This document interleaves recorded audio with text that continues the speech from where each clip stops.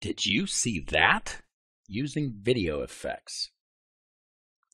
So now I want to show you some of the video effects that are available in Premiere.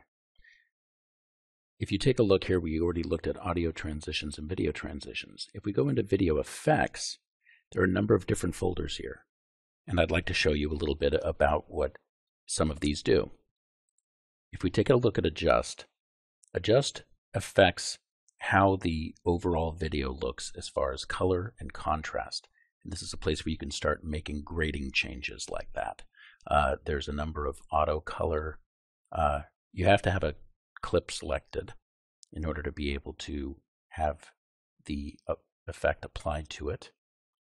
So with that selected, if I now click auto color, that automatically adjusts the color based on these various settings and you can adjust these to whatever you want. You can also even animate them by clicking on the stopwatch and that will allow you to activate animation and be able to set keys.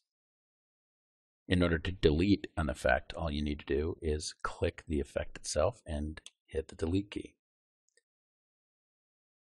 Lighting effects, if I click this here, you can see here that this creates a false lighting in the scene. You can adjust these lights by opening up the panel, and this allows you to affect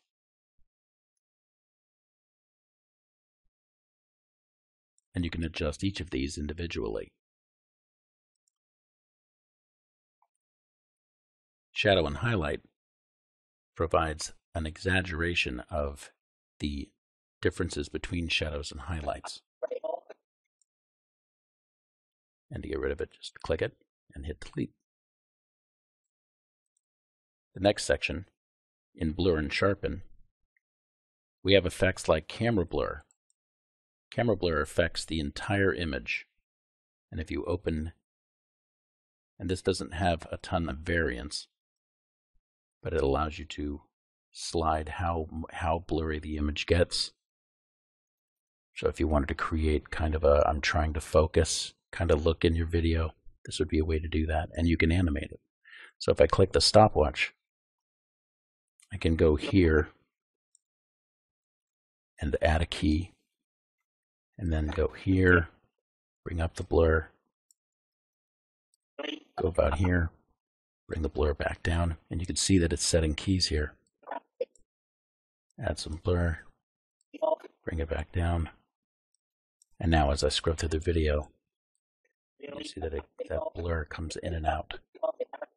So if you were shooting video and you meant it to look like it was home video and the camera was focusing and you intentionally wanted to have that kind of an effect in there, this is a way that you could do that. And of course, to get rid of the effect, if you wanted to get rid of individual animation keys, you merely highlight them here and delete it. Or you can delete all of them. You can delete the entire effect. Channel blur allows you to blur just certain colors, certain color channels. So for example, here you can see that the green is getting blurred, but the other colors are staying the same. And that can create interesting effects in and of itself. Directional blur. This is something that actually creates the illusion of a blurring effect as a result of direction. So for example, if I dial in direction, Right now, nothing's happening, and the reason nothing's happening is because there is no blur length set. As soon as I dial up the blur length, now we're starting to see some blur occurring. And now when I adjust direction, you can see that it's affecting the direction that a blur would take, and you can have it be directional. Gaussian blur is a blur that affects kind of from the center as opposed to the overall image. It's it's not an overall blur as if something was placed over it. And this again could be used for kind of a trying to focus. Ghosting, Going to apply that here to show on this clip. I apply ghosting to this clip, you can see that what it does is it's creating it's creating a delay that is occurring over to show kind of like where the effect was. So like this would be something like, you know, you would see like if somebody looked like they were if they had been tranquilized or something like this, and you were getting that effect of like, "Hey, are you okay?" and you had blurry vision or double vision. Sharpen is an effect in which, you know, your image is already sharp. If you punch it up, you can actually bring it past the point of where it looks like over sharp so that you have this kind of crispness and it almost creates kind of a um, it creates almost like a um, uh, like giving everything a stylized look. If that was something you were going for, it's something you could play with. Color correction is a larger section in which you can adjust values, brightness and contrast, for example.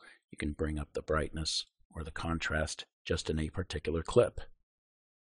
Broadcast colors automatically applies so that you know that the video that you are editing together will meet broadcast standards. And you can adjust which standards NTSC or PAL here. If we go into the distort section, this section has a number of interesting effects. Bend allows you to dial in that the image is bending. Magnify creates a circle in the middle of the video in which you can adjust the size of that circle and also the position of that circle. And again, you can animate it by clicking on the stopwatch and adding keys. And this magnifies a certain section of the video if you wanted that kind of effect. If you were demonstrating something and you wanted to focus on a particular section. Mirror, by first dialing up the angle, we can affect the angle and then what the center positioning is and that will give you a mirror effect of the video that's on the screen.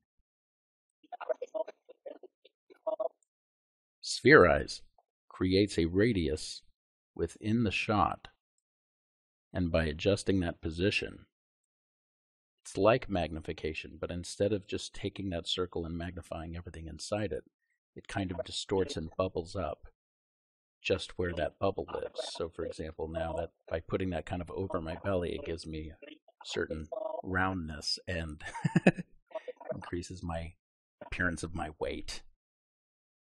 And twirl is kind of a typical one that you would expect to see in something like this, where you can actually dial in the twirl.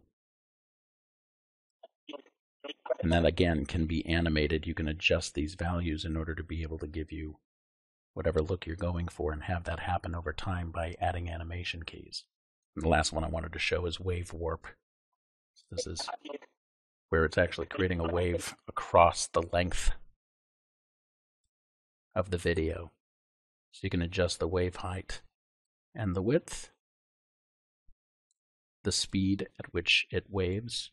So the higher the speed, the more it waves, the quicker it waves. And you can pin it to certain sections. So by pinning to all edges, then it's creating where it happens in the middle and it pins to the edges as opposed to extending beyond the edge of the video. In the next section, we'll continue looking at some of the video effects that you can apply to your video in order to adjust its look in Did You See That? using video effects.